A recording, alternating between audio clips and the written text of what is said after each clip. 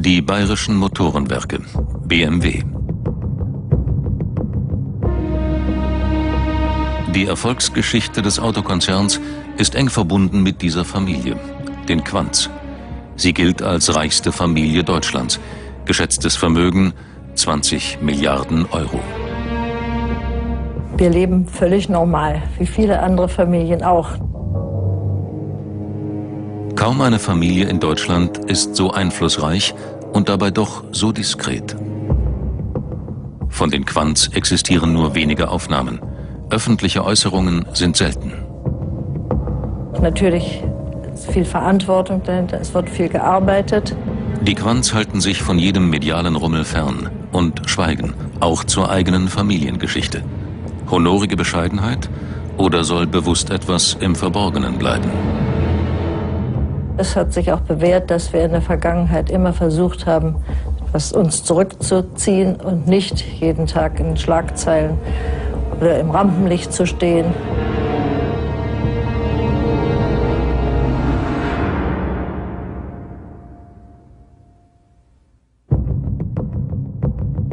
BMW. Kaum ein anderer Weltkonzern kann auf so enorme Gewinnzuwächse verweisen wie der Autobauer aus München. Mit über 100.000 Mitarbeitern erzielt das Unternehmen einen Jahresumsatz von über 49 Milliarden Euro. Die Fäden im Hintergrund zieht eine Familie, die nichts mehr meidet, als in der Öffentlichkeit zu stehen. Die Quanz. Johanna Quandt steht der Familie vor. Als Großaktionäre besitzen sie die faktische Macht über BMW. Sohn Stefan ist zudem Eigentümer des milliardenschweren Delton-Konzerns und BMW-Aufsichtsrat. Wie seine Schwester Susanne Klatten. Sie gilt als reichste Frau Deutschlands, hielt lange Anteile am Pharmakonzern Altana. Es war Johanna Quants Ehemann, Herbert Quandt, der BMW zu dem machte, was es heute ist. Herbert Quandt zählt bereits in den 50er Jahren zu den reichsten Männern Deutschlands. Mit seinem Vermögen rettet er 1960 BMW vor dem Niedergang. BMW wird zum Weltkonzern und zum Inbegriff des Reichtums der Familie Quandt. Als Herbert Quandt 1982 stirbt, vererbt er seiner dritten Ehefrau Johanna nicht nur Milliarden. Er hinterlässt auch jene Erfolgslegende von BMW, die allein die Herkunft des Vermögens erklären soll. Weitere Nachfragen unerwünscht. Die Diskretion, die Scheu äh, hat schon mit der Geschichte der Familie zu tun. Man hat sich nicht dazu geäußert, man hat nichts getan, man hat sich zu nichts bekannt. Äh, Im Gegenteil, man hat es eher als unangenehm empfunden, wenn andere auf diese Dinge äh, hinwiesen. Bis heute sind die Archive der Quanz verschlossen. So drang bislang nur wenig über die Herkunft von Teilen ihres Vermögens an die Öffentlichkeit. Diese Familie möchte ihre Geschichte und die Herkunft ihres Vermögens, ihrer gesellschaftlichen Bedeutung, ihres Einflusses, also die Ursachen von all dem äh, verschleiern, vergessen, machen. Also wenn man das zusammenfasst, hat die Familie Quandt ihr Vermögen gemacht auf der Grundlage von Zwangsarbeit. Verknüpft also mit dem Zweiten Weltkrieg, den deutschen Kriegszielen und so weiter. Also das ist die Basis für ihr Vermögen. Und dieses Vermögen begründet auch den gegenwärtigen, also die gegenwärtige wirtschaftliche Bedeutung und äh, den gesellschaftlichen Einfluss, den Konzerne wie Quant, BMW und so weiter haben.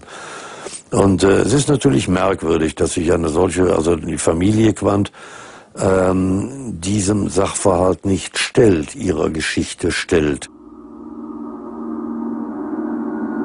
Auch uns gegenüber hüllt sich die Familie Quandt in Schweigen. Seit Beginn unserer Recherchen im Jahre 2002 werden alle Interviewanfragen abgelehnt. Schriftlich heißt es unter anderem, man wolle nur ungern in eine Situation gebracht werden, sich dafür verteidigen oder gar entschuldigen zu müssen, dieser Familie anzugehören. Wir fahren nach Bad Homburg. Von hier leiten die Quants ihre Unternehmungen. Versuch einer direkten Kontaktaufnahme.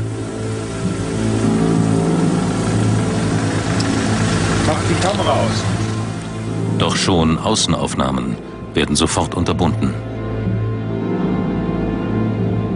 Frankfurt am Main. Die Verleihung des Herbert Quandt Medienpreises, gestiftet von Johanna Quandt. Auch hier suchen wir Antworten, aber nicht alle Medienvertreter sind willkommen. Mir leid, es ist wirklich eine private Veranstaltung, also nicht öffentlich, ein geladener Kreis von Gästen. Sie wollen nicht, dass wir hier weiter darüber berichten? Also ich würde sagen, dass äh, wir jetzt äh, die, das Gespräch beenden. Ja? Wenn Sie das so sagen. Warum hat die Familie Quandt das nicht geschafft, heute genauso wie die anderen zu handeln und zu ihren Sachen zu stehen? Ändern kann man das nicht, was sie damals gemacht haben. Aber heute kann man eine andere, andere, anders damit umgehen. Tausende Zwangsarbeiter schuften während des Zweiten Weltkriegs für die Quants. Herbert und sein Vater Günther Quandt führen damals die Betriebe der Familie. Sie profitieren von der Ausbeutung der Menschen, die aus fast ganz Europa nach Deutschland verschleppt werden. Ob Waffen oder U-Boot-Batterien, Quants Werke sichern die Schlagkraft der deutschen Kriegsmaschinerie. Im Mittelpunkt des Firmenimperiums die Akkumulatorenfabrik AG, genannt AFA. Mehrheitsaktionär und Konzernlenker Günter Quandt. Ihm gehören auch Unternehmen wie die Deutsche Waffen- und Munitionsfabrik, Pertrix, Wintershall, die Mauserwerke und Busch Jäger. Nach dem Zweiten Weltkrieg allerdings will Quandt von der Sklavenarbeit in seinen Firmen nichts gewusst haben.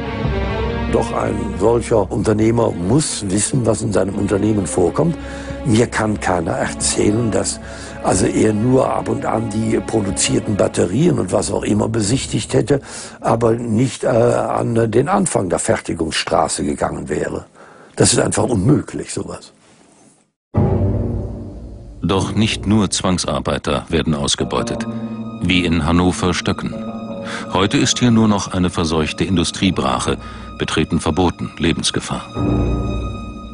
Nichts erinnert mehr daran, dass hier ab 1943 ein Konzentrationslager stand. Das Lager war Teil des AFA-Werks. In der angrenzenden Batteriefabrik, die heute Warta heißt, mussten KZ-Häftlinge U-Boot-Batterien fertigen. Fabrik und Konzentrationslager bildeten eine effiziente und kostengünstige Produktionseinheit in direkter Kooperation mit der SS. Dieses Konzentrationslager ist zwar von der SS bewacht worden, aber es ist in seiner ganzen Ausrüstung, in den Bauten, im, im Betrieb äh, durch die AFA betrieben worden. Also man kann ja durchaus von einem firmeneigenen Konzentrationslager unter äh, SS-Aufsicht äh, sprechen. Ohne Schutzkleidung waren die KZ-Häftlinge hochgiftigen Stoffen bei der Batterieproduktion ausgesetzt. Viele starben an Bleivergiftung. Wer überlebte, litt sein Leben lang unter den Folgen wie Adolf Sörensen. Erstmals kehrt der heute 82-Jährige auf das Lagergelände zurück. Als dänischer Widerstandskämpfer wurde er hierher deportiert.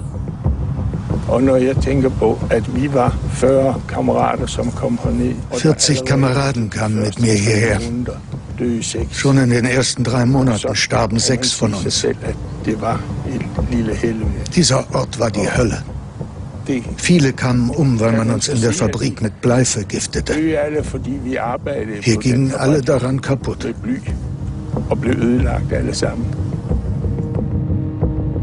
In Stöcken ist man spätestens nach sechs Monaten tot. So die SS gegenüber den Neulingen im Lager.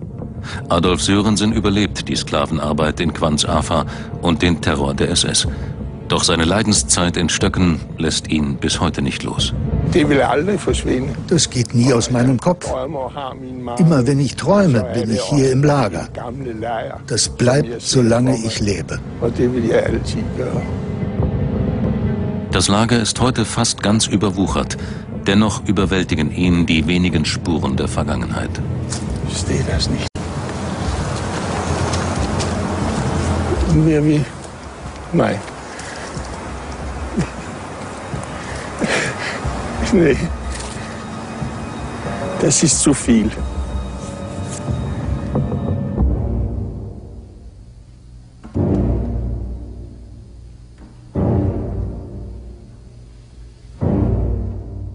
Es ist natürlich klar, dass man nach dem Krieg diese für Quandt sehr unangenehme Geschichte nicht breitgetreten sehen wollte.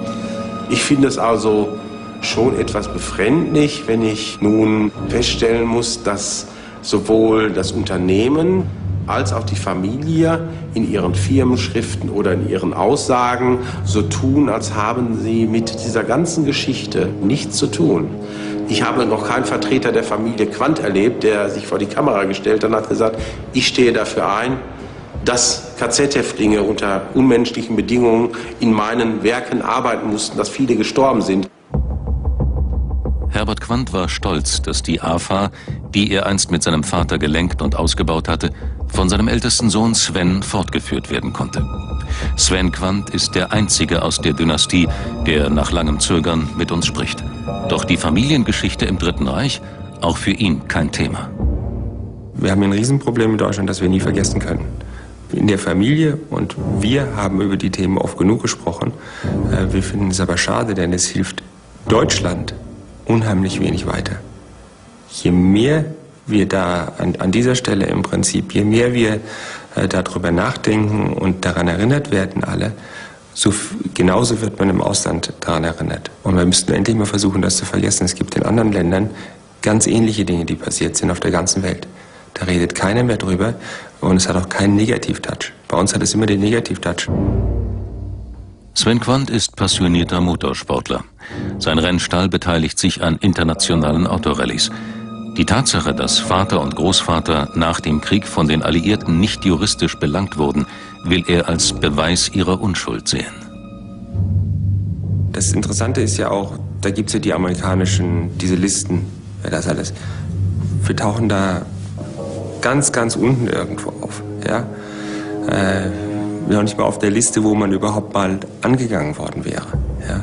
Es gab während der ganzen Zeit auch an, unsere, an die Firmen, wo wir sind, noch nicht mal, wo ich daran beteiligt bin, noch nicht mal ein Prozess, noch nicht mal eine, also noch nicht mal einen, äh, eine Frage über, über, irgendwelche Nachbesserungen oder irgendwas. Ja, also auch das zeigt es, dass es da sehr, sehr wenig gewesen ist. Dass man so argumentiert, als ob wirklich nichts gewesen sei, obwohl es doch eindeutig nachgewiesen werden kann, woher das Sachvermögen der Familie Quandt stammt. Das ist schon merkwürdig. Ähm, da muss man schon ein sehr gestörtes Verhältnis zur Wirklichkeit haben, um sich, äh, wenn solche Vorhaltungen formuliert werden, so völlig unangefochten zu geben, ja noch nicht einmal nachdenklich zu werden. Tatsache ist, Günter Quandt, einer der größten Rüstungsfabrikanten der NS-Zeit, wurde wegen der Ausbeutung von KZ- und Zwangsarbeitern niemals zur Rechenschaft gezogen auch nicht in den Nürnberger Prozessen. In diesem Gefängnistrakt warten ab 1947 deutsche Industrielle in Nürnberg auf ihre Urteile. Angeklagt wegen wirtschaftlicher Ausraubung und Versklavung von Menschen. Unter ihnen ist Alfred Krupp, den man zu zwölf Jahren Haft und der Einziehung seines Vermögens verurteilt. Und Friedrich Flick, der eine Haftstrafe von sieben Jahren erhält. Auch Günter Quandt stand auf einer Liste der Kriegsverbrecherkommission. Am Ende allerdings fehlt er auf der Anklagebank. Eine Tatsache, die Benjamin Ferens, damals einer der amerikanischen Ankläger, bis heute bedauert. There's no doubt Zweifellos spielte Quandt eine wichtige Rolle. Er hatte Glück, schlüpfte durch unser Netz. Es gab also keine Anklage. Das bedeutet aber nicht, dass er unschuldig war. Er war genauso schuldig wie all die anderen auch. So Quandt would stand accused of crimes against humanity. Quandt hätte angeklagt werden müssen. Wegen Verbrechen gegen die Menschlichkeit und der Versklavung von Menschen. Er wusste, dass die Bedingungen, unter denen diese Menschen arbeiten mussten, für viele den Tod bedeuteten.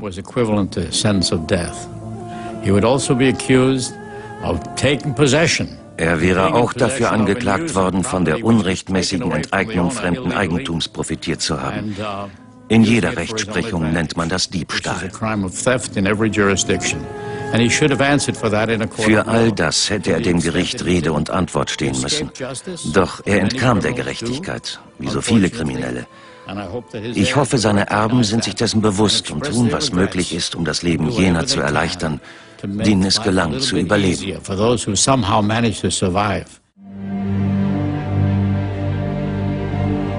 Wie aber gelang es Günter Quandt, sich der alliierten Justiz zu entziehen?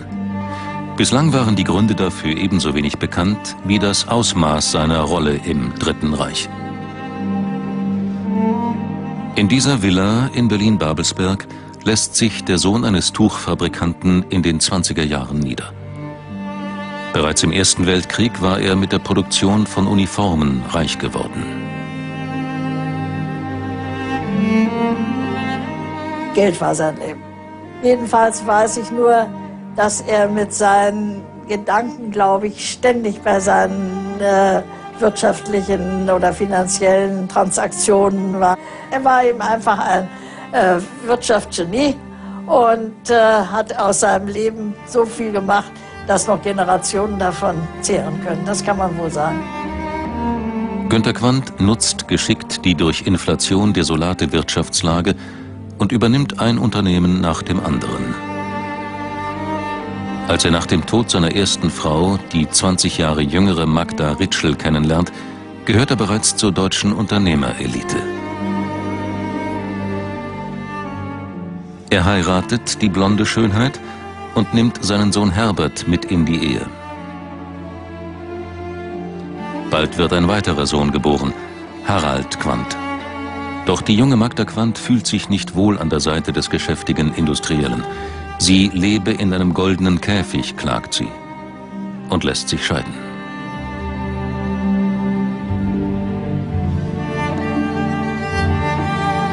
In einem Altersheim lebt Magdas Schwester, Ariane Shepard. Vom einst mondänen Leben im Umkreis der Quanz ist ihr wenig geblieben. Sie ist krank, das Sprechen fällt ihr schwer. Doch ihre Erinnerung ist lebendig. Die Ehe ihrer Schwester mit Günter Quandt so die über 80-Jährige, sei zum Scheitern verurteilt gewesen. Das Geld war schon sehr wichtig bei ihm. Geld war stärker als die Liebe, nehme ich an. Der war jetzt zu alt. Er sagte, er ist ein lieber Onkel, aber mehr mag ich nicht an ihm. Und er war ja auch sehr geizig, das hat, das hat ihm vielleicht auch nicht gepasst. Er hat immer gesagt, er gibt mir ja niemals was. Berlin, 30er Jahre die Vorboten einer neuen Zeit. Hitlers Agitator Josef Goebbels fasziniert nicht nur die Massen, sondern auch die geschiedene Millionärsgattin Magda Quandt. Sie verliebt sich in den Mann, der später als Propagandaminister das Dritte Reich maßgeblich mitprägt. Mein Vater hatte protestiert dagegen, sie den Herrn Goebbels heiraten wollte. Er hat ihr das versucht auszureden. Und sie war wie, wie auf einer Die Hochzeit findet im Dezember 1931 statt, auf Günter Quants Sommersitz Gut Severin. Dort schwört das Ehepaar Goebbels sich und der nationalsozialistischen Bewegung ewige Treue. Adolf Hitler ist Trauzeuge und übernachtet ebenfalls auf Gut Severin in Günter Quants Schlafgemach. Der Industrielle erkennt früh, welche Möglichkeiten ihm die Nationalsozialisten bieten können, wohl auch durch die Verbindung seiner Ex-Frau mit Josef Goebbels. Die kirchliche Trauung inszeniert als nationalsozialistisches Familienfest. An der Seite des Brautpaares der zehnjährige Harald Quandt.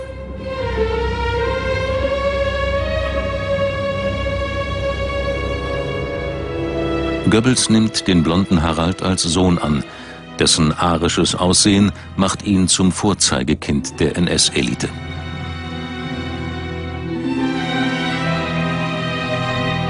Er wächst auf mit der immer größer werdenden Kinderschar der Goebbels. Der Kontakt zum leiblichen Vater bricht mehr und mehr ab.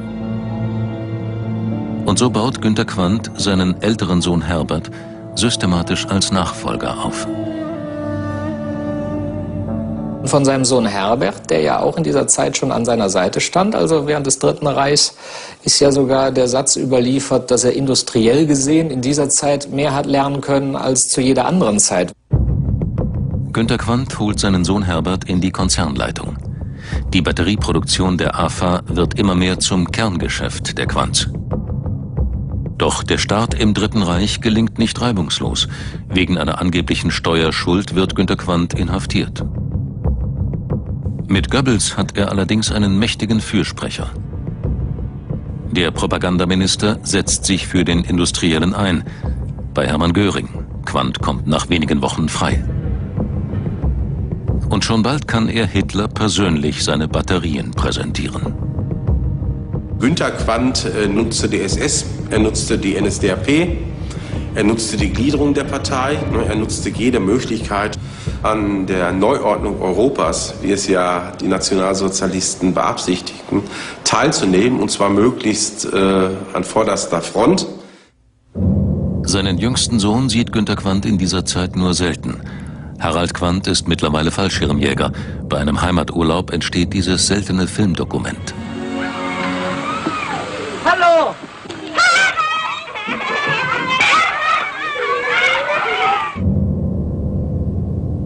Harald Quandt besucht die Goebbels-Familie.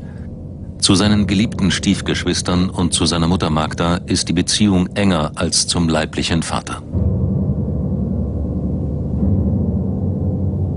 1944 kämpft Harald Quandt in der Schlacht um Monte Cassino. Der junge Leutnant ahnt nicht, welche Tragödie sich in der Goebbels-Familie abspielen wird. Als er in englische Gefangenschaft gerät, erhält er die Nachricht. Mutter und Stiefvater haben im Führerbunker seine sechs Stiefgeschwister und sich selbst umgebracht. Es war ja nicht nur der Tod der Familie, es war ein Verbrechen, was er begangen hat. Magda und Goebbels auch. Harald Quandt ist somit der einzige Überlebende der Goebbels-Familie. Über den Fanatismus und die Mordtat seiner Mutter ist er nie hinweggekommen. Harald hatte aber einen Brief bekommen von seiner Mutter. Mein geliebter Sohn, es ist Zeit, dass wir uns voneinander verabschieden. Der Führer hat mir noch sein goldenes Parteiabzeichen angesteckt. Jetzt bin ich zufrieden und kann in Ruhe sterben. Nach Kriegsende kehrt Harald zu seinem leiblichen Vater zurück. Die Alliierten suchen die Schuldigen für Krieg und Völkermord, wollen das Land entnazifizieren. Von dem, was Vater und Bruder gemacht haben, weiß Harald nur wenig. Dabei sind Herbert und besonders Günter Quandt im Visier der Ermittler.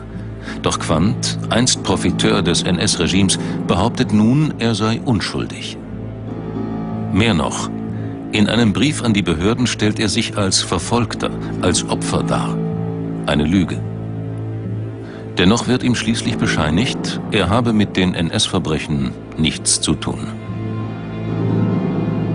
Günter Quandt ist ja als Mitläufer eingestuft worden. Einer der größten Rüstungsunternehmer des Dritten Reichs, der ist nur mitgelaufen. Das ist ja im Grunde absurd. Der ist nicht mal als belastet äh, äh, eingestuft worden, obwohl er äh, zweifellos belastet war. Mit seiner Entlastung gerät auch die Frage nach der Verstrickung der Quanz in das NS-Regime aus dem Blick. 1954 stirbt Günter Quandt. Doch auch nach seinem Tod bleibt die wahre Herkunft von Teilen des Vermögens im Dunkeln. Der Grund ist nicht nur das hartnäckige Schweigen der Familie. Zahlreiche Dokumente, die eine Beteiligung der Quanz an der NS-Schreckensherrschaft belegen, liegen verstreut und oft zusammenhanglos in verschiedenen Archiven der Welt. Andere schienen nicht mehr auffindbar, nur vereinzelte Hinweise deuteten auf ihre Existenz hin. Dennoch werden wir in zahlreichen Archiven fündig. Es sind Dokumente, die die enge Kooperation der Quanz mit dem NS-Staat belegen. Sie zeigen, ihr Konzern hatte eine Schlüsselposition in der deutschen Rüstungsindustrie. Günther und Herbert Quandt zählten nicht nur zu den mächtigsten, sondern auch zu den einflussreichsten Männern der NS-Wirtschaft.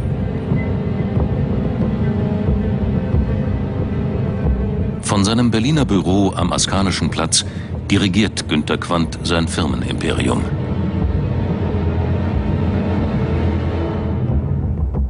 Ab 1933 sucht der Unternehmer die Nähe der neuen Machthaber. Erst mit einer großen Spende, kurz darauf mit dem Eintritt in die NSDAP. Quants deutsche Waffen- und Munitionsfabrik wird ein Motor von Hitlers Wiederaufrüstung. Der NS-Staat revanchiert sich. 1937 wird Quandt zum Wehrwirtschaftsführer ernannt, wie auch Krupp und Flick. Eine Position, die exklusiven Zugang zu Partei und Militär gewährleistet. Auf höchster Machtebene kann Günter Quandt nun seine Rüstungsgüter verkaufen. NSDAP, Betriebsgruppen und Wachschutz prägen das Arbeitsklima der deutschen Waffen- und Munitionsfabrik, auch für tausende Zwangsarbeiter, die hier schuften müssen. Das war besonders schlimm in der deutschen Waffenmunition. Nicht umsonst hatte sie in diesen ganzen jüdischen Kreisen den Ruf, einer der besonders schweren, schrecklichen Zwangsarbeitsstellen zu sein. Wir mussten Munition stanzen in gasverseuchten Räumen. In dem gleichen Raum, wo unsere Stanzmaschinen standen, wurde mit Schwefelsäuredämpfen diese von uns gestanzte Munition abgebeizt. Wir waren die einzigen, soweit ich kenne, die als Juden gekennzeichnet wurden, lange, lange Zeit bevor überhaupt ein Judenstern aufkam in der Stadt. Das hat keine andere Firma gemacht. Das hat die Reichsbahn nicht gemacht, das hat Siemens nicht gemacht, niemand. Die AFA Hagen, heute Warta, das Zentrum der Batterieproduktion des Konzerns. Hier entwickeln Ingenieure immer leistungsstärkere Batterien. Mit Kriegsbeginn wird Quants Büro Treffpunkt von hohen Militärs. Der Industrielle beweist ihnen die Effizienz seines Unternehmens. AFA-Spezialisten folgen dem deutschen Vormarsch, lösen technische Probleme direkt hinter der Front. Die Folge? Der Umsatz der AFA steigt rasant. Denn ohne Quants Batterien läuft nichts mehr beim deutschen Militär. Wir dürfen nicht vergessen, dass die AFA eines der wichtigsten äh, Rüstungsbetriebe im Deutschen Reich war. Sie war damals gleichbedeutend mit Unternehmen wie Friedrich Krupp, mit dem Mannesmann Röhrenwerken, mit Thyssen und anderen Unternehmen. Jede Waffe, die zum Beispiel gegen die Alliierten, gegen England abgefeuert wurde, sei es ein Torpedo, eine Rakete, ein Flugzeug, in jeder dieser Waffe war eine Batterie aus dem Hagener Werk. Es war der Inbegriff der deutschen Kriegsmaschinerie. Die Heeresversuchsanstalt in Peenemünde setzte sich bereits Ende der 30er Jahre mit dem AFA-Werk in Verbindung und gemeinsam mit den Ingenieuren in Peenemünde wurde eine Bordbatterie entwickelt. Das waren zwei kleine Blechkästen und ohne diese Blechkästen hätte die spätere V2, die Vergeltungswaffe 2, nicht funktioniert. Ein gelber Porsche als Dekoration im Hause von Sven Quandt.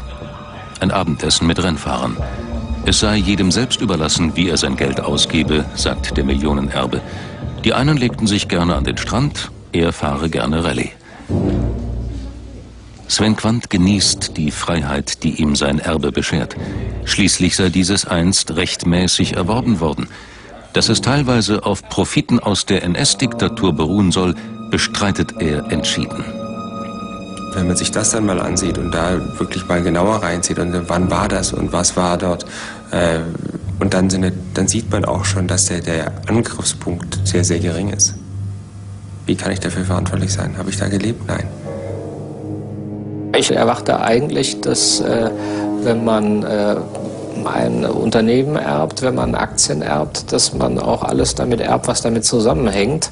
Äh, man kann nicht äh, nur das Vermögen erben, aber äh, nicht äh, äh, die Schuld und Verpflichtung, die mit dem Vermögen verbunden ist. München, Hauptstaatsarchiv.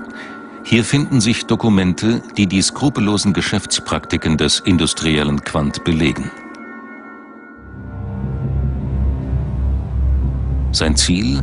Die AFA soll größter Batterieproduzent Europas werden. Laut einem firmeninternen Schreiben soll auch die Ausschaltung des jüdischen Elements aus Industrie und Handel der AFA die Vormachtstellung sichern. Quandt nutzt und beteiligt sich gezielt an Arisierungen von Batteriefirmen in den besetzten Ländern. Doch auch nicht-jüdische Konkurrenten werden seine Opfer.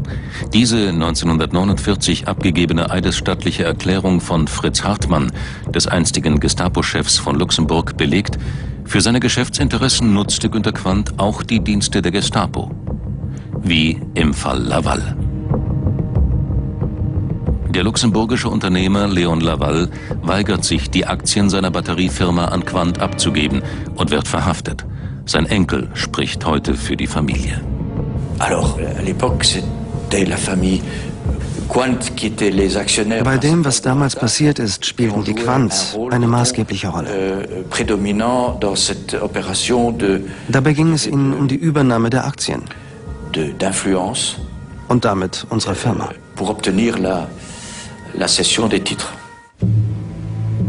Die Tudor Batteriefabrik im belgischen Florival. Nach dem deutschen Einmarsch will Günter Quandt hier nicht nur für die AFA produzieren, sondern auch noch Leon Lavals Aktienmehrheit übernehmen. Doch Laval weigert sich, das Unternehmen, das seit zwei Generationen von seiner Familie geführt wird, an Quandt abzugeben. Mit schrecklichen Folgen. Die Fabrik arbeitete ja bereits für die AFA. Sie stand ja bereits unter ihrer Leitung.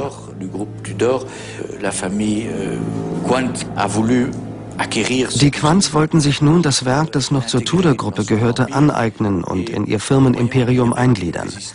Mein Großvater, Leon Laval, wehrte sich vehement. Er gab dem Druck nicht nach. Und da ließ man ihn verhaften. Leon Laval wird in das Hauptquartier der Gestapo in Luxemburg gebracht. Herr über Leben und Tod ist hier Gestapo-Chef Fritz Hartmann.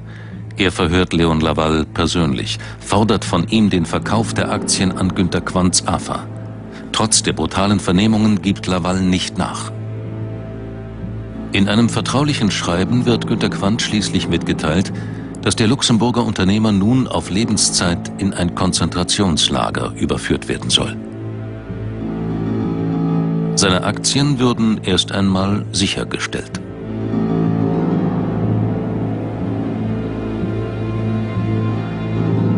Daraufhin meldet Quandt seinen Anspruch auf die Aktien an. Schamlos nutzt die AFA die Situation aus und tritt in Verhandlungen mit einem Häftling ein, den das Konzentrationslager erwartet. Doch auch wenn Lavals Fabrik bereits in Quants Hände gefallen war und für die AFA Profite erwirtschaftete, an seinen Aktien hält der Luxemburger fest. Und wie durch ein Wunder überlebt er die Haft. Il est clair que was damals passierte, kann man nicht akzeptieren. Die Erpressung, der Druck, der ausgeübt wurde, ist mit Worten nicht zu beschreiben. Hauptstaatsarchiv Hannover. Hier finden wir Akten über Günter Quands Sohn Herbert, seinen engsten Vertrauten. 1940 tritt auch er der NSDAP bei. Herbert Quandt ist nicht nur im Vorstand der AFA, sondern teilt mit seinem Vater zahlreiche Aufgaben. Dabei überlässt der Senior seinem Sohn die Zuständigkeit für das Personal. Herbert Quandt war der Hauptverantwortliche für diesen Geschäftsbereich. Damit ist die Anforderung von Zwangsarbeitern, der Einsatz von Zwangsarbeitern in den verschiedenen Betrieben auch über seinen Tisch gegangen. Auch der Einsatz von KZ-Häftlingen bei der AFA und ihren Zweigwerken wird eng mit der Personalabteilung abgestimmt. Wie für die Pertrix-Fabrik in Berlin. Hier ist Herbert Quandt nicht nur für das Personal zuständig, er ist auch Betriebsdirektor der Firma. Das Werk steht noch immer.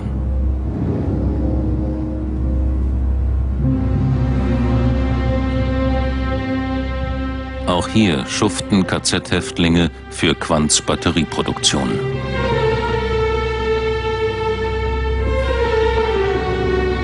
Die Frauen kommen aus dem Konzentrationslager Ravensbrück. Viele von ihnen sterben an den Giftstoffen, denen sie in Quants Pertrix ausgesetzt sind. Das war Blei, das war Männige, das war Cadmium, das waren andere Schadstoffe. Und die Menschen diesen lebensbedrohenden Schadstoffen ohne geeignete Schutzkleidung auszuliefern, ist schon ein Verbrechen gegen die Menschlichkeit. Das Barackenlager der Pertrix Zwei Kilometer vom Werk, mitten im Berliner Wohnviertel Schöne Weide. Hier waren die Häftlinge untergebracht. Es sind Frauen aus fast ganz Europa, verschleppt und versklavt für die AFA. Die hat sich also nicht auf das Reichsministerium für Bewaffnung und Munition verlassen, sondern hat eigene Mitarbeiter nach Frankreich geschickt, in die Tschechoslowakei geschickt, in den Osten geschickt, um zu sehen, sind da geeignete Arbeitskräfte. Und einige Einträge in schriftlichen Quellen des Personalbüros lesen sich fast wie eine Fleischbeschau. Zähne, Muskulatur, wie waren die jungen Frauen gebaut, halten sie eine schwere körperliche Belastung aus und diese Quellen, man muss natürlich immer ein wenig sachlich sein als Historiker. Aber als ich die Sachen gelesen habe, kam es mir vor, als äh, wären das Relikte eines Sklavenmarkts. Stolz schauen wir auf den größten Deutschen aller Zeiten, unseren geliebten Führer. So Günter Quandt im Dezember 1940. Der deutsche Eroberungskrieg garantiert ihm immense Produktionssteigerungen und sichert den Nachschub billiger Arbeitskräfte. Schließlich sind die meisten deutschen Zivilarbeiter an der Front. Wenn sie die Leute alle rausholen fürs Militär und die brauchten ja schließlich die Batterien und wo wollen sie denn die Arbeit äh, machen lassen? Mussten sie ja schon die, äh, das waren ja nicht äh, nur Juden, das waren ja die Kriegsgefangenen und so weiter. Ja, wie wollen sie eine Firma aufrechterhalten? Geht ja gar nicht anders.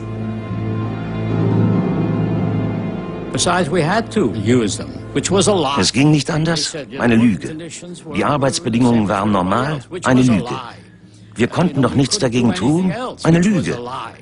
Sie sahen in diesen Menschen nur Abfall. Waren die am Ende, hieß es nur... Und bei Quandt kommen wir auf eine Skrupellosigkeit, die sich eng verknüpft äh, mit dem deutschen Faschismus. Und Skrupellosigkeit bedeutet auch, dass ich also den Tod von Personen in Kauf nehme, dass ich also Konzentrationslager neben meinen Betriebsstätten einrichten lasse, wenn es denn nur dem also dem Zuwachs des Vermögens, dem Wachsen, Blühen und Gedeihen des Unternehmens dient. Wie auch dieses Dokument beweist. Ein Vertrag zwischen Quanz AFA und der SS. Darin wird die Errichtung eines Konzentrationslagers auf dem AFA-Gelände in Hannover-Stöcken beschlossen. Im März 1943 vereinbart die AFA mit dem SS-Wirtschaftsverwaltungshauptamt den Einsatz von über 1500 KZ-Häftlingen zur Batterieherstellung. Die Häftlinge werden aus dem Hamburger Konzentrationslager Neuengamme, dem AFA-Werk, überstellt. Das Unternehmen rechnet mit einer monatlichen Fluktuation von 80 Arbeitskräften. Im Klartext, die Arbeitsbedingungen fordern jeden Monat etwa 80 Tote. Und diese Toten werden gegen arbeitsfähige Häftlinge aus dem KZ Neuengamme ausgetauscht. Wir hatten das kleine Auschwitz vor Ort. Hier hat systematisch Vernichtung durch Arbeit stattgefunden. Der eine Partner war die SS und der andere Partner war die Warta mit der Familie Quandt als Besitzer. Das KZ-Gelände heute. Im Hintergrund die Warta-Fabrik, die damals noch AFA hieß. Bis 2000 in Quandt-Besitz gehört sie inzwischen einer amerikanischen Firma.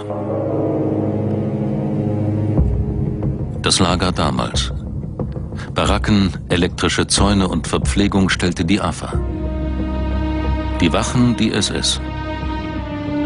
Unzählige Häftlinge starben durch die unmenschlichen Arbeits- und Lebensbedingungen und den Terror der SS. Ein französischer Häftling zeichnete die verhungerten Elendsgestalten in Stöcken, darunter auch einen Häftling aus Griechenland, den wir aufgrund dieser Zeichnung finden können. Takis Melopoulos überlebte, konnte in seine Heimatstadt Thessaloniki zurückkehren κάτι χειρότερο από δουλεία. Αυτό δουλεία με κλούτο. Das war viel schlimmer als Sklavenarbeit. Αυτό που σε χτυπάνε. Wir waren nicht nur Sklaven, man peitschte uns auch aus, trieb uns mit der Peitsche an. Es war wie in der Antike. Damals schlug man den Sklaven, damit er das Mühlrad drehte und trieb so den Ruderer auf einer Galeere an. Genauso behandelte man uns.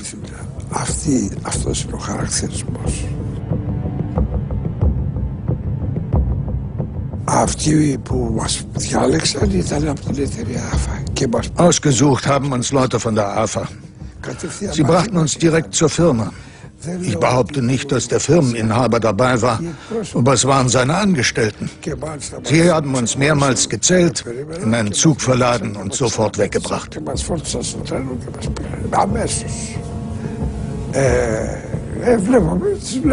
Die Angestellten der AFA haben alles gesehen. Sie haben zugeschaut, wenn uns die Kapos prügelten, mitbekommen, dass man uns kein Wasser gab und wir aus den Toiletten trinken mussten. New York. Wir legen Benjamin Ferens, Ankläger in den Nürnberger Prozessen, die Dokumente vor, die wir zum Fall Quandt zusammentragen konnten. Material, das der Nürnberger Kriegsverbrecherkommission nicht vorlag. Nach eingehender Prüfung kommt der Jurist zu folgendem Urteil. It seems clear to me as a former prosecutor at Nuremberg and knowing the conditions and knowing the circumstances of the Als ehemaliger Ankläger in Nürnberg, der die Prozesse gegen die deutschen Industriellen kennt, ist mir klar, hätten dem Gericht diese Beweise gegen Günter Quandt vorgelegen, die heute durch Ihre Recherchen zur Verfügung stehen, wäre er genau wie Flick, Krupp und einige Direktoren der IG Farben angeklagt worden. Der Umfang der Anklage wäre sicherlich über das hinausgegangen, was man den Direktoren der IG Farben vorwarf, denn die waren ja keine Firmenbesitzer. Seine Verbrechen wiegen genauso schwer wie die derjenigen, die verurteilt werden konnten.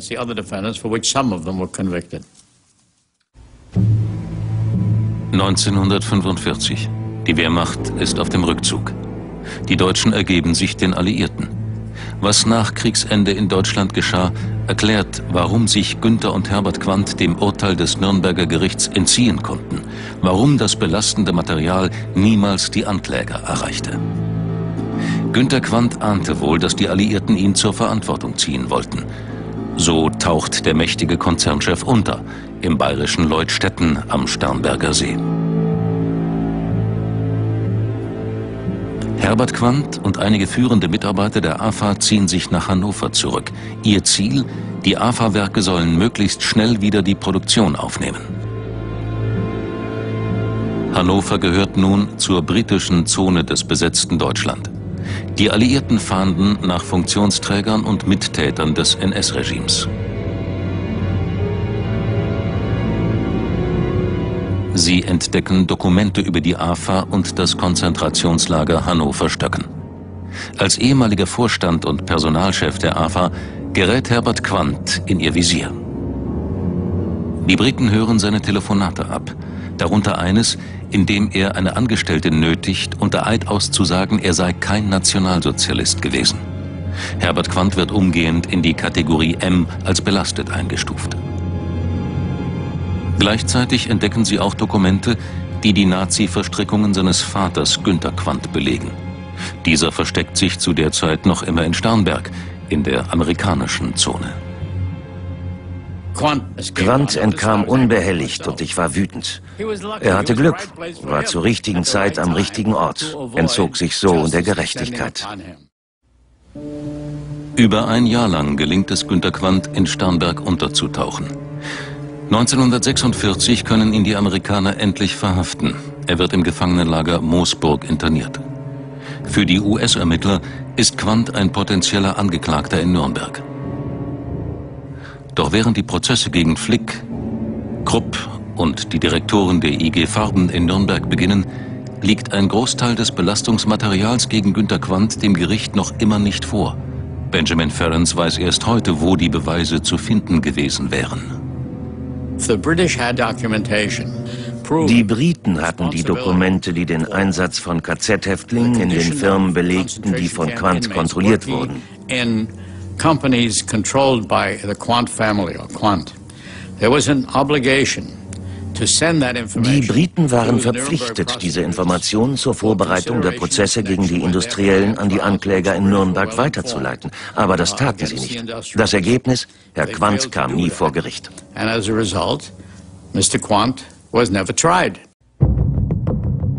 Ein erstes Indiz dafür, warum die Briten die belastenden Unterlagen dem Nürnberger Gericht nicht übergeben, finden wir im Westfälischen Wirtschaftsarchiv in Dortmund.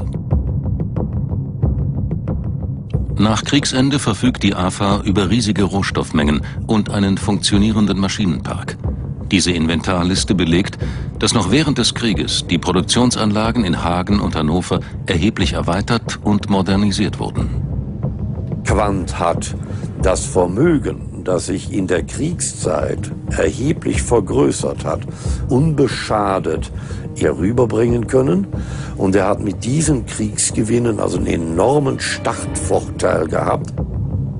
Nach ihrem Einmarsch inspizieren britische Soldaten die AFA-Batteriefabriken. Herbert Quandt ist vor Ort. Die Werke sind trotz einiger Bombenschäden funktionsfähig. Die Briten hätten die Maschinen demontieren und als Kriegsentschädigung beanspruchen können, doch sie entscheiden sich anders. Es befremdet doch ein wenig, wenn dieses Werk von den Alliierten unmittelbar nach der deutschen Kapitulation dazu herangezogen wurde, die eigenen äh, Einheiten, die eigenen Armeen mit äh, Rüstungsgütern, Starterbatterien, U-Boot-Batterien und so zu versorgen. Die Briten erteilen der AFA schon am 22. Mai 1945 eine Produktionsgenehmigung. Das belegt unter anderem das Arbeitsbuch eines AFA-Chefingenieurs aus dem Jahre 1945, in dem er die Zusammenarbeit mit den Besatzern festhält. Und trotz anfänglicher Bedenken der Briten kommt der ehemalige Personalchef Herbert Quandt, der als belastet gilt, ungeschoren davon. Er darf den Konzern weiterführen. Die Verstrickungen seines Vaters werden ebenfalls ignoriert. 1946 kann die AFA bereits einen Umsatz von über einer Million Reichsmark verbuchen. Die Produktion der AFA war für die Alliierten wichtig. Das wird ein Grund gewesen sein, weshalb man die AFA mit Samthandschuhen angefasst hat und dass über diesem Weg diese ganze Strafverfolgung auf Sparflamme gekocht wurde. Günter Quandt, der bis 1948 interniert ist, hat Glück. Aufgrund des fehlenden Aktenmaterials können die Amerikaner ihn in Nürnberg nicht anklagen. Günter Quandt kann sich nun ungeniert in einem Schreiben an die Behörden als Verfolgter der nationalsozialistischen Regierung darstellen. The end. Nun erzählte er jedem, er wüsste von nichts, hielt sich weder juristisch noch moralisch für verantwortlich. Leute wie er fühlten keine Scham, hielten sich für unantastbar. Die Amerikaner verfolgen den Fall Quandt nicht weiter. Nun muss er, wie jeder andere Deutsche, im Rahmen der Entnazifizierung Rechenschaft über seine Funktion zwischen 1933 und 1945 ablegen. Sein Fall wird von einer bayerischen Spruchkammer übernommen. Zuständig für die Anklage ist der Staatsanwalt beim Bayerischen Ministerium für Sonderaufgaben, Julius Herf. Er ist empört darüber, dass die Alliierten Quandt nicht in Nürnberg vor Gericht gestellt hatten.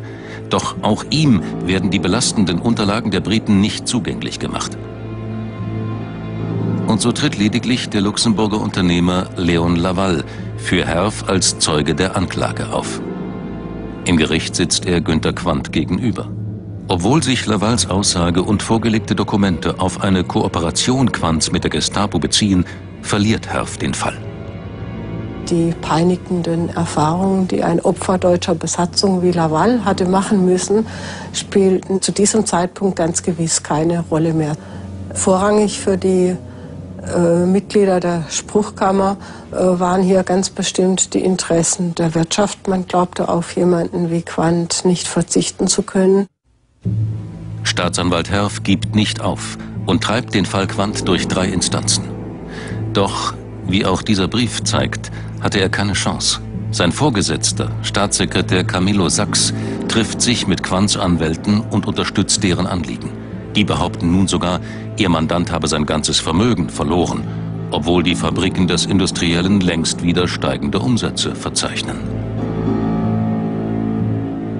Es ist nicht ungeschickt, äh, damit eine Legende zu beginnen. Ne? Ich habe so wenig an dem ganzen, am deutschen Faschismus und am Krieg verdient. So wenig. Ich bin noch nicht mal Reichsmark liquide dass ich noch nicht mal die Kosten für den Anwalt und überhaupt meine Entnazifizierungsprozedere äh, aufbringen will. Das ist doch genial, sowas. Zumindest eine clevere Lüge. Das zeigt auch ein Gespräch, das er mit seiner ehemaligen Schwägerin Ariane Shepard unmittelbar nach Ende des Krieges führt. Der Krieg ist auch für mich furchtbar gewesen. Ich habe sehr viel Geld verloren. Und dann sagte ich habe jetzt nur noch 78 Millionen Dollar. Das merkte er gar nicht, was er da sagte. Dass er das zu mir sagte. Ich könnte, ich könnte gar nichts sagen. Ich, ich war völlig sprachlos. Im Mai 1950 enthebt Staatssekretär Sachs schließlich den unnachgiebigen Julius Herf seines Amtes. Der Grund? Angebliche Homosexualität. Auch der Spiegel berichtet. Seine Erfahrung bilanziert der mittlerweile verstorbene Herf erst Jahre später. Es gab unzählige Fälle, in denen die Herren größerer Vermögen mit irgendwelchen Mächtigen sich verständigt hatten und ihr Geld behielten. Ganz abgesehen davon, dass äh, äh die Alliierten ihre schützenden Hände über so und so viele ganz große Halunken gehalten haben, denen wir nichts tun durften. Die unglaublichsten Leute sind als Minderbelastete oder als Mitläufer durchgegangen und ich bin überzeugt, wenn Herr Hitler noch gelebt hätte, wäre er auch Mitläufer geworden.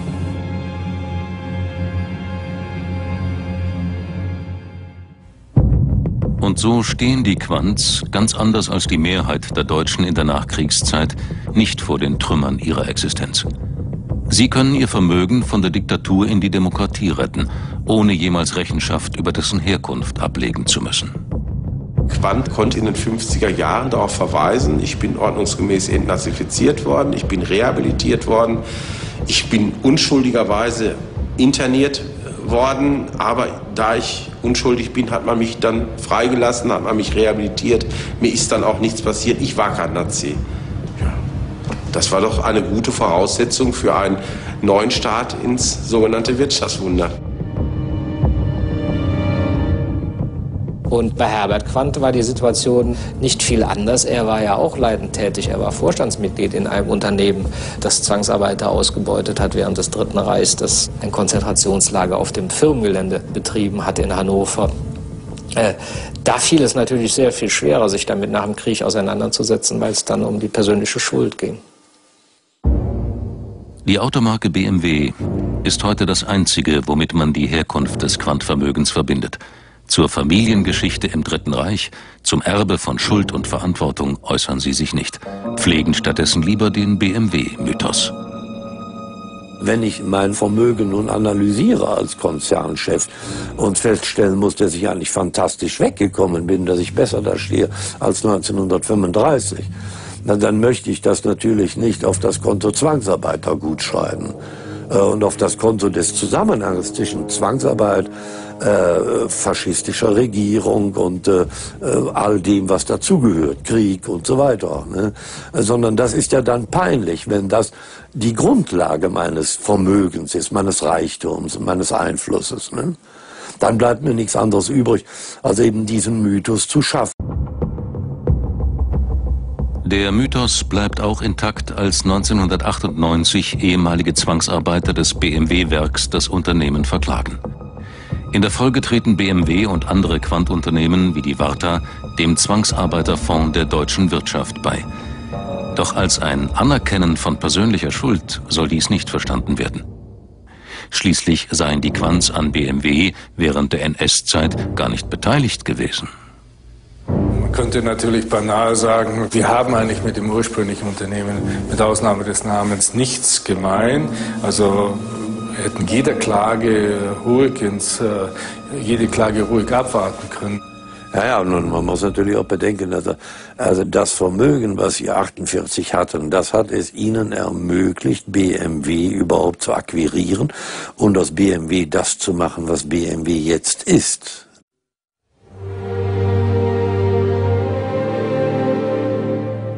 Wie sehr die Quants von Sklavenarbeit profitierten, dazu schweigt die Familie bis heute. Und auch eine Entschuldigung dafür, was Adolf Sörensen und andere im Lager Stöcken erleiden mussten, gibt es nicht. So wie der damals als 17-Jähriger inhaftierte Adolf Sörensen leiden die meisten Überlebenden noch immer an den physischen und psychischen Folgen. 1972 baten sie Warta, damals noch im Besitz von Herbert Quandt, vergeblich um eine kleine finanzielle Unterstützung.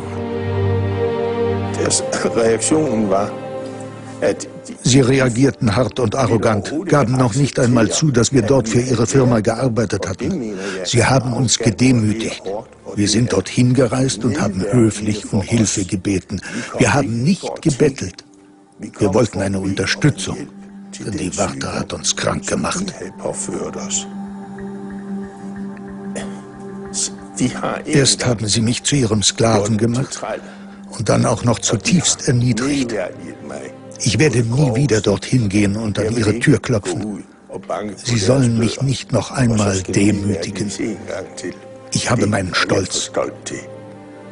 Sie werden mich nicht noch einmal zerstören.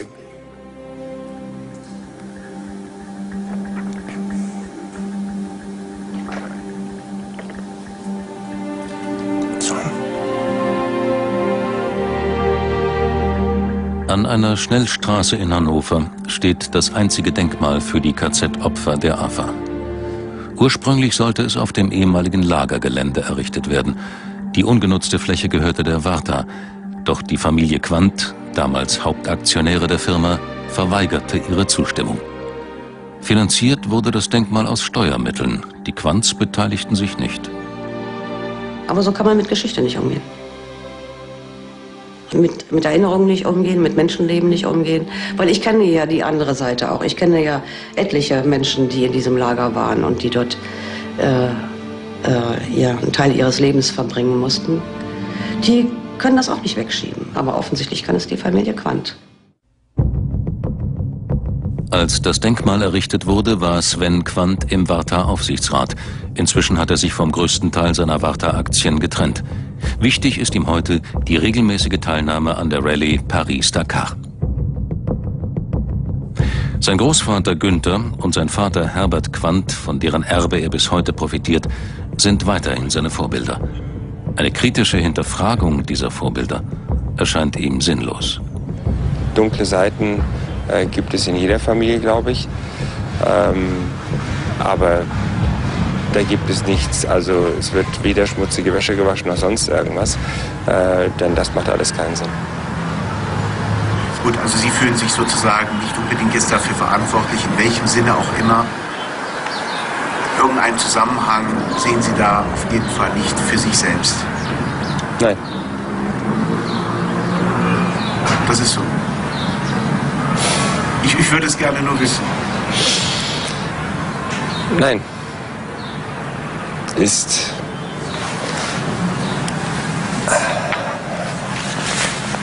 Die Antwort kennen Sie.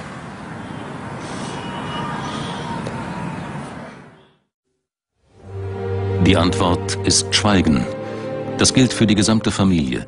Vielleicht aus Angst vor Prestigeverlust oder finanziellen Forderungen. Dabei wollen die wenigen Überlebenden heute nur eines. Sie wollen nicht noch einmal Opfer werden. Durch das Schweigen der Quanz. Es geht gar nicht ums Geld, sondern einfach dazu zu stehen, dass das da passiert ist. Und den Eindruck konnte ich äh, nicht mitnehmen in den ganzen Jahren, dass die Firma oder die Familie Quandt sich äh, darum bemüht hat. Wir haben nichts dazugelernt. Es ist einfach nur peinlich. Hier sind sind nicht Seiten umgeschlagen worden in einem Geschichtsbuch, hier sind Leben umgeschlagen worden.